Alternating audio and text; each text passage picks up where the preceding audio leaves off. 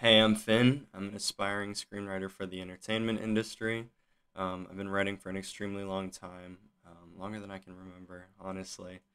Um, but I've always written short stories, poems, um, D&D campaigns, um, other things like that, and then of course scripts, which I've been really into writing for the past couple of years.